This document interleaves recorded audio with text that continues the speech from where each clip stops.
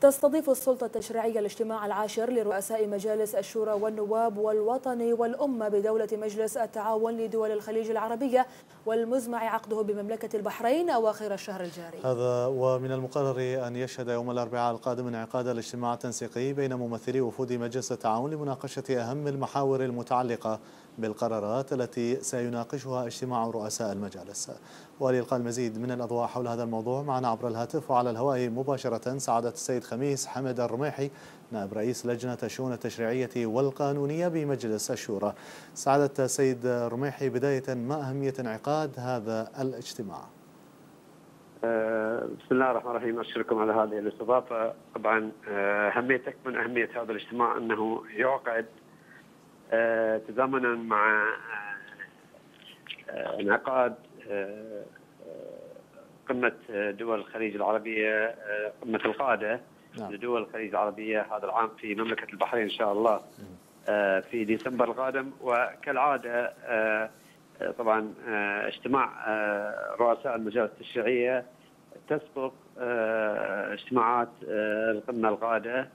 وبالتالي فإن أهمية هذا الاجتماع هو يأتي تزامنا مع اجتماع القادة وهناك كثير من الموضوعات نعم التي طيب سيد خميس الآن بما أن هذا الاجتماع سيكون متزامن مع فترة مهمة وهي اجتماعات القمة لدول مجلس التعاون، هل لك أن تطلعنا أنت كرمت على أبرز القضايا التي قد يناقش هذا الاجتماع؟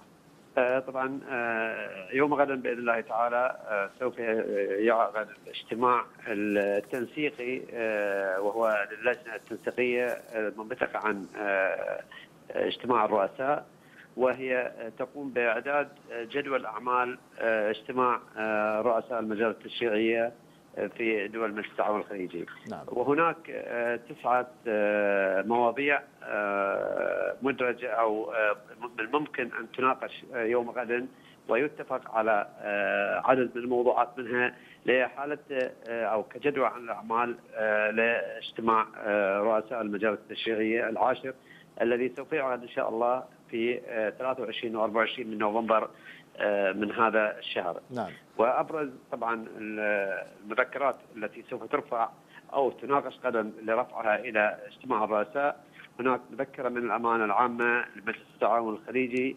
متعلقة بآليات التعامل مع التقارير الصادرة عن الجهات البرلمانية الدولية بشأن دول المجلس.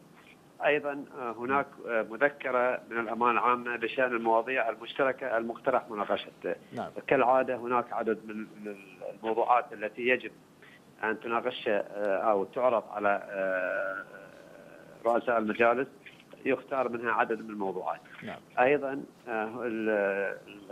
الموضوع الثالث هناك مذكرة أيضا من الأمانة العامة بشأن نتائج أعمال اللجنة البرلمانية الخليجية المعنية بتعزيز آليات التعاون مع البرلمان الأوروبي.